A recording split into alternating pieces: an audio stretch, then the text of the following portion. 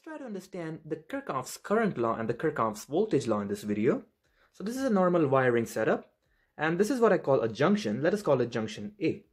So what does Kirchhoff's current law says? The current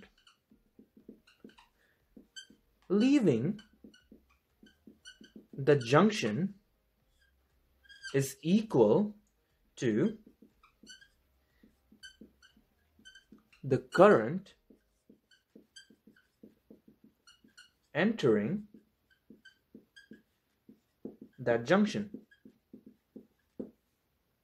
So the current that is leaving that junction, so in this case, this is our junction and the arrows show that the IB and the IC currents are going away from the junctions. That means they are leaving the junction and IA is the current that is entering the junction. That is, it's entering towards point A. So how can we express this thing mathematically? The current entering the junction should be equal to the current leaving the junction. We can also call this as the conservation of current. So IA, current entering the junction, equals to IB plus IC. So this is the equation we can form with the Kirchhoff's current law. So now let's try to work on a little more complex example. I mean, come on, we guys are in college, right? a little more complex example won't hurt, yeah? So let's take junction A for example now here. Now, if you have watched the previous part, from junction A, the current enters junction A should be equal to the current exiting junction A. Now, look at the diagram clearly. I1 is entering junction A. I2 is also entering junction A. I4 is also entering junction A and I6. Oh, okay. So all are entering the junction A. So how can we form this equation? The currents entering the junction, that is I1 plus I2 plus I6 plus I4 equals to the current exiting junction A, which in this case is a big egg or zero. So this is for junction, oh, I'm sorry, node. This is for junction A. So now let's solve um, KCL equations for junction B, for example. So for B, the currents entering the B should be equals to the current exiting the B. So in this case, I6 is exiting from B and I5 is also exiting from B. There's nothing above. So how can we mm, write this statement? The current entering B is 0 equal to the current exiting B, that is I6 plus I5 Mm, that's basically it. You can also write i6 plus i5 equal to 0, but that doesn't make any difference. So I won't waste time on that, but I just did. Once again, oh my god, no. Okay, so let's start for C. So now let's do um, the KCL equations for the um, junction C here. The currents that are entering the junction C, should be equal to the currents exiting. So I5, you see here, I5 is um, coming towards C, that means it's entering C. I4 is going away, and I3 is also going away from C. So I phi is the current entering. So I phi is equal to the current exiting that is going away from the junction that is I4 plus I3. So going away from junction plus another current going away from junction. So for the node C or the junction C, I phi equals to I4 plus I3 is the equation. And that's how you can form equations for many circuits using the KCL law and you can form um, the equations, the certain equations. You can add or subtract them, and you can find the values of certain currents through um, flow flowing towards the junction or flowing away from the junction. And that's when things get really useful because when you have complicated circuits, um, when you go more, when you go to the higher levels of electrical engineering, you might get really complicated circuits you know, the type of circuits that takes me 5 minutes to draw. Oh my god, it's so complex. I'm not even gonna solve this thing. It's gonna take me forever. But yeah. now, let's start with the KVL that I call the Kirchhoff's voltage law. So simply put, this is a normal sample circuit. I'm going to show you how to calculate voltages from it uh, later words. But, but first, let me explain you what is the Kirchhoff's voltage law. So simply put, Inside a loop, the sum of voltages entering oopsie n entering from the positive terminal is equal to the sum of voltages entering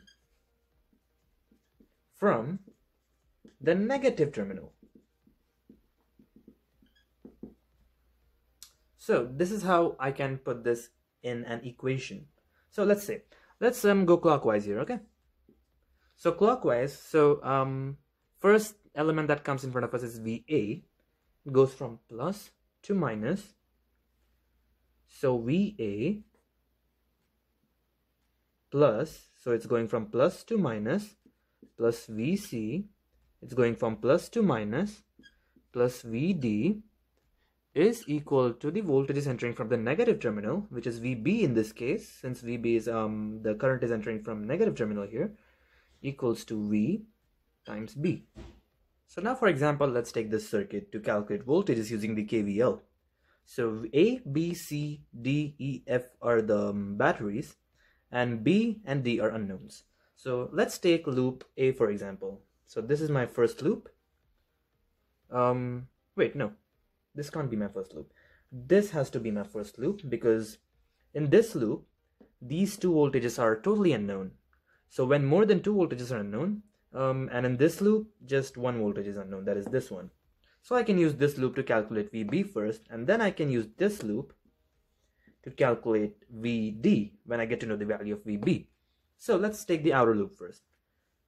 The voltages, the sum of the voltages should be equal to zero. Let's start from A.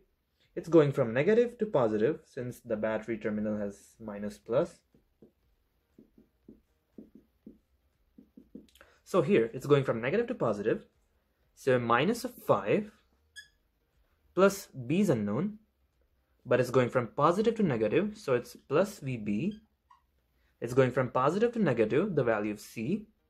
So it's going to be plus 2 E is going from positive to negative, which is 1 volts. So it's going to be plus 1. And this um, F is going from negative to positive. So it's going to be minus 9 equal to 0. So minus 5 plus VB plus 3 minus 9 is minus 6 is equal to 0. So we get the value of VB as 15. So now we have the value of VB. Let's calculate the value of VD by this inner loop. Let's start from A again. So minus and plus, so it's going from negative to positive. So minus 5, it's going from positive to negative. So it's going to be, since VB is 15, we just got it. Wait, I didn't write it? Oh. So plus 15, so it's going from positive to negative. So plus 2, it's going from negative to positive, the voltage for D. So it's going to be minus VD equal to 0.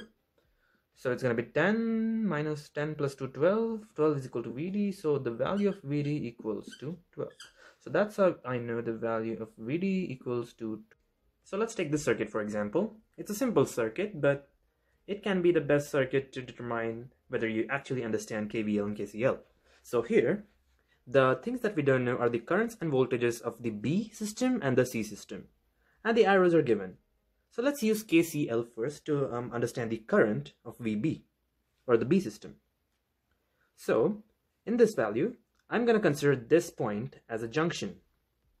And since this point is a junction, IA value is entering the junction and IB value is also entering the junction, but there is no current exiting the junction.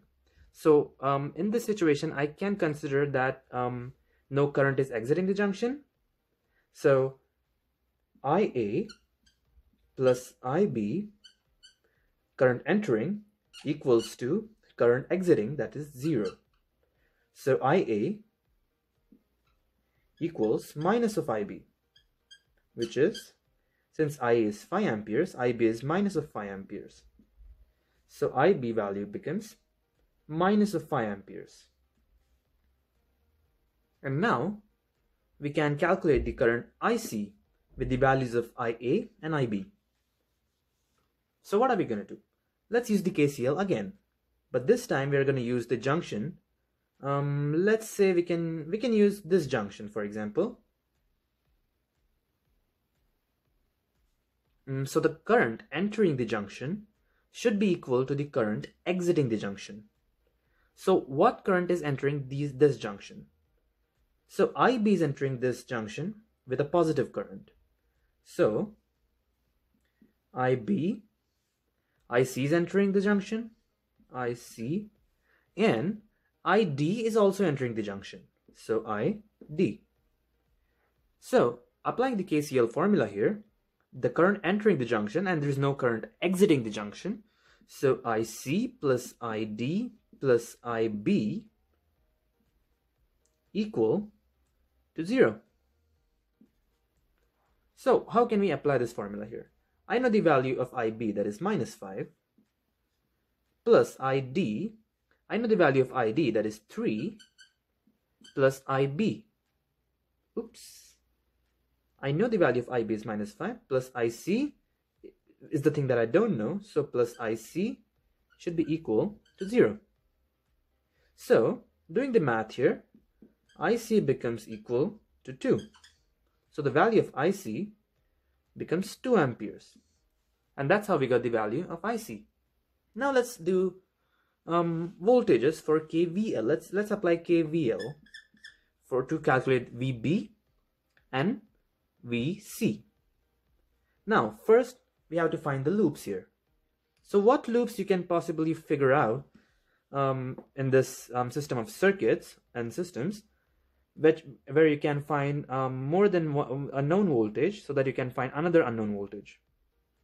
Here, this loop can help VD and VC. So if we go clockwise here, KVL says the sum of the um, summation of all the voltages equal to zero, um, respecting the sign conventions, of course. So let's consider, um, okay, let this thing be plus and minus. I forgot to mention it earlier. Mm, yeah, better, perfect. So since we are going clockwise here, um, I'm considering going from negative to positive as negative voltage and positive to negative as a positive voltage. So VC so junction, I'm starting from here, minus VC, going here, plus minus, so it's going to be plus of VD equal to 0. Sum of these voltages across loop equal to 0. And here we know the value of VD as 10 volts. So minus of VC plus 10 equal to 0, which gives us the value of VC as equal to 10. And that's how you know the value of VC, oops, again, value of VC equal to 10 volts. Now we have to find the value of VB. Now for the value of VB, there's only one loop you can um, find the value of VB. Oh, actually there are two loops. You can find the value of VB by um, measuring the voltages of this loop and the measuring of um, the whole circuit as a loop. So let's do the small loop first. So I'm going clockwise again. So minus and plus, so it's going to be minus of 10 volts. It's again going from negative to positive, so it's going to be minus of VB. And then it's going from positive to negative, so it's going to be plus VC, that is 10 volts, equal to 0.